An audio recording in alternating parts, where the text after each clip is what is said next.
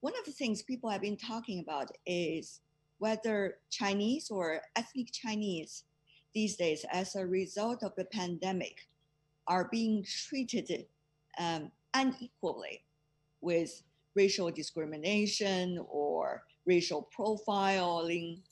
Uh, so, what do you make of the current situation? Are you safe? Yes. Yes? Jiaheng, go ahead.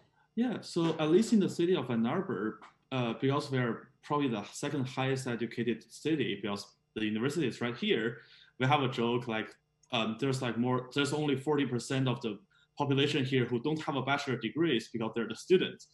Um, so over here, the environment is safe and friendly, but there is some of the trend that there's some increasing of hostility towards the Chinese international students.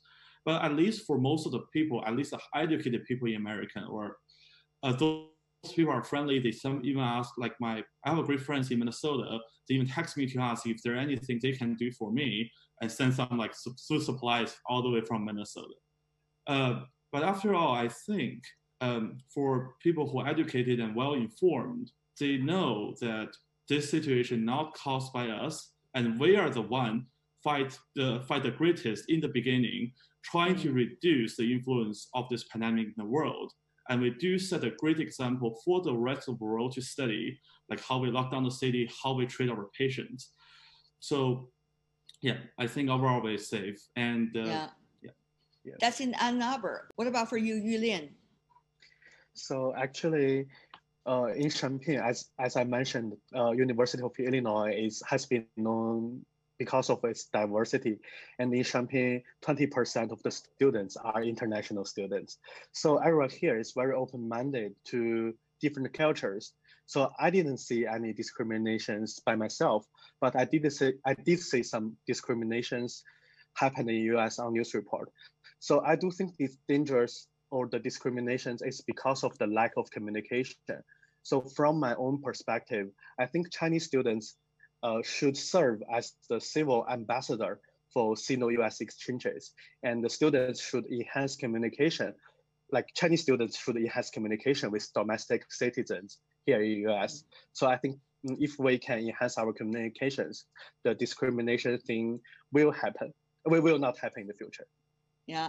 Well, uh, I see Qi Rong is uh, in a way having a very unique smile on his face. Uh, obviously, you're using big word, uh, Yulian, when you were describing your thoughts.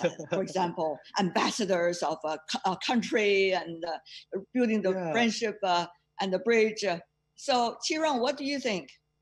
Yes, I just want to echo on Yulin's point. Um, I'm I thought you were going to use some smaller words.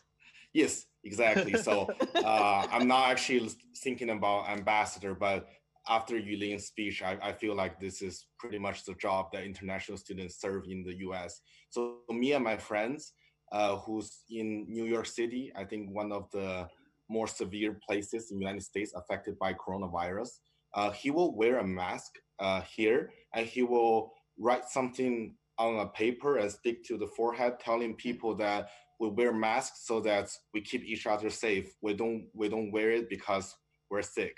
So we want to uh, inform the Americans and challenge their newses that people should actually wear masks to prevent further infections instead of just uh, only allow the sick people to wear masks. So we want to challenge on that idea and we want to Mm. tell them by just sticking the nose direct on the forehead just to say it straight, you know.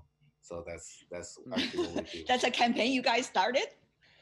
um, not really. It's just it's it's just what they have to do in in in uh, New York cities because New York cities is where uh, Yeah. they actually face some danger and discriminations.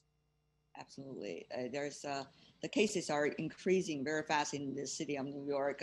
What about in Vancouver, in Canada, also a country proud of its diversity? Uh, are you safe? Uh, because we have questions coming from our viewers and uh, uh, CGTN fans. They're asking, how are the locals treating the Chinese students over there? Xue Yan? Thank you. Uh, I do have to say Vancouver is a city that contains like a lot of diversity, but I do see some cases that like when Chinese people, one of my friends were walking on the street wearing mask, and some Canadian were saying, "Oh, you dropped your virus." I think that's very racist. So um, I do believe that even a lot of people wearing mask right now, they do give an eye on us. So me and my friend actually started a campaign called 321 Mask Challenge so we wear mask and write uh, C for coronavirus and not for China on the mask, just to show them like, don't put this virus on any country or something. We it's like Mm. uh, globally treated, and we all have to fight this together. Mm, that sounds like a great campaign. Make sure you let me join in also, okay? Sure.